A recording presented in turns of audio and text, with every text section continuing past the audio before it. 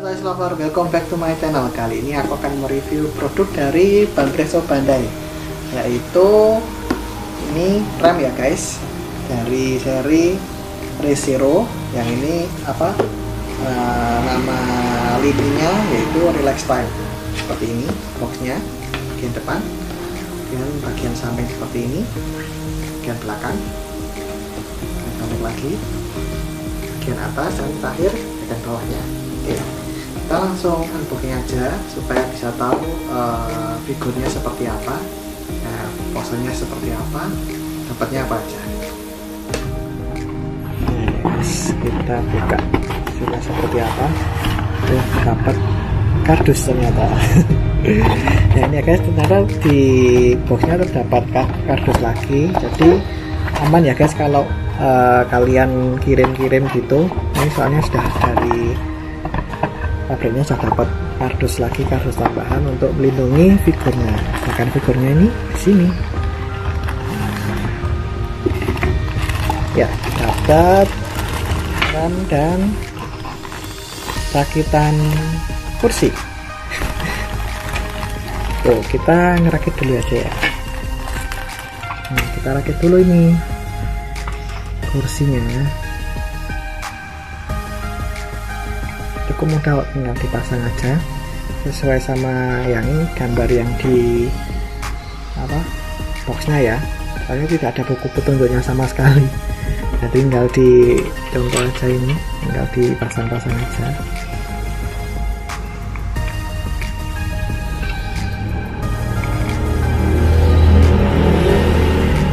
Nah jadi nah, seperti ini guys. Oh kursinya seperti ini. Hmm simpel sederhana model Eropa gitu ya. Nah, gitu. Oke nah ini figur remnya. Kita dudukkan aja. Mau duduknya miring gini gini gini terserah kalian. Cocoknya seperti apa. Nah, kalau aku sih gini aja lah cukup lah. Nah, cukup imut ya. Ekspresinya juga bagus. Imut banget sih menurutku ya itu kesan polos gitu ya? Atau kesan seperti bangun tidur gitu? Jadi memang uh, aku baca sih untuk yang relax time ini sih memang dikhususkan. Jadi ekspresi-ekspresi dan apa uh, postur tubuhnya itu kelihatan sedang santai gitu. Entah entah dia posisinya bangun tidur mau tidur atau sedang bersantai-santai lainnya gitu sih. Ini. Jadilah seperti ini. Tuh oke nah, aku review dulu untuk bagian kepalanya guys. Nah untuk bagian kepala. Nah ini guys. Nih. Nah, oh seperti itu nah menurutku ini bagus sih ya. Menurutku bagus. Soalnya dari matanya dulu dari matanya memang stiker tapi stikernya oke. Okay. nggak ada cacat di mati stikernya penempelannya oke okay, menurut nah, yang di figurku ini ya. Kemudian nih di bagian pipi itu ada sedikit rona-rona merah ya guys. Jadi membuat uh, si figur ini si rem ini jadi tambah imut tuh nah nah ini ini kalau di figurku ini ada sedikit miss ya guys di bagian cat bagian hidung. Ini kok ada seperti ada yang nempel gitu ya ini. Coba nanti aku bersihin aja. Oke untuk yang bagian rambut itu uh, bagian poni itu seperti ada sedikit transparan di bagian ujungnya. Ya. Sedangkan di apa bagian belakang dan bawah itu uh, warna gradasi gelap biru gelap. Jadi kebalik ya guys. Jadi kalau yang depan depan ini itu gradasinya gradasi ke transparan sedangkan yang rambut belakang itu gradasi ke biru gelap. Tuh. Dan ini itu kelihatan sekali garis. Ini ya guys.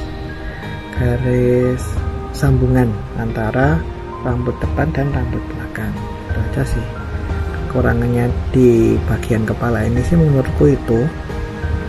Coba kalau diberi hiasan seperti pita atau bandung untuk menutupi itu tambah keren lagi sih sebenarnya.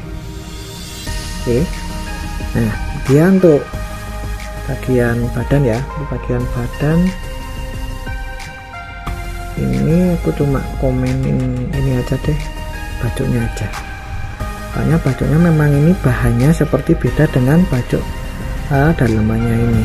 Tuh jadi model yang depan ini seperti baju apa ya ya model daster gitu ya. Tapi kesannya kayak jas hujan gitu malahan ini warnanya kayak kayak apa ya kayak transparan gitu juga. Tapi bukan transparan.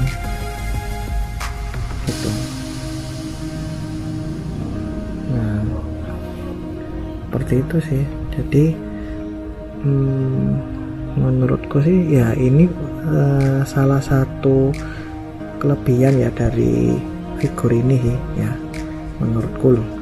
Soalnya kan biasanya kan tekstur bajunya kan sama sedangkan ini ada dia pakai dua tekstur baju yang pertama yang biasa yang dipakai yang di dalaman ini yang kedua tekstur kedua yang ini yang baju luarnya ini.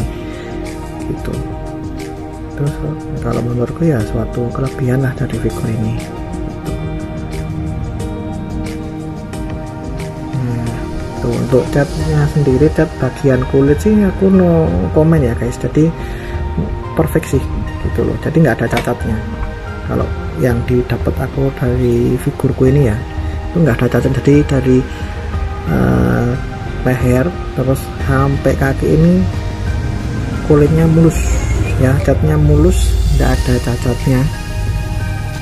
Ya, dan tidak ditambahi apa ya aksesoris lain sih memang dan di bagian kaki eh, jari-jari uh, kaki bagian tangan jari tangan jari kaki memang polos ya guys.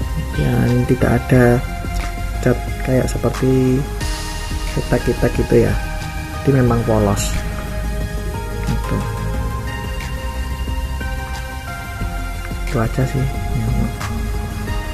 Nah kita aja sih menurutku uh, reviewku tentang figur ini. Gitu. Jadi kalau misalnya dilihat dari jauh segini itu memang seperti apa ya suasananya jadi seperti santai gitu ya guys. Gitu. menurutku sih gitu sih. Ya, ya nanti komen aja ya guys. Menurut kalian gimana? Nah gitu aja guys. Uh, untuk reviewku kali ini nah, nah jangan lupa ya guys untuk klik like, komen, dan subscribe ya guys. Nah, jangan lupa, hmm, oh ya guys, uh, kalau kalian mau apa ada review, eh kok review, request, kalau ada request kalian mau aku suruh nge-request figur-figur apa gitu komen aja. Siapa tahu aku koleksi atau aku bisa ya cari-cari lah siapa tahu aku juga suka terus aku reviewin sekalian gitu. Ya. Oke guys. Sampai ketemu lagi di video-videoku berikutnya. Dah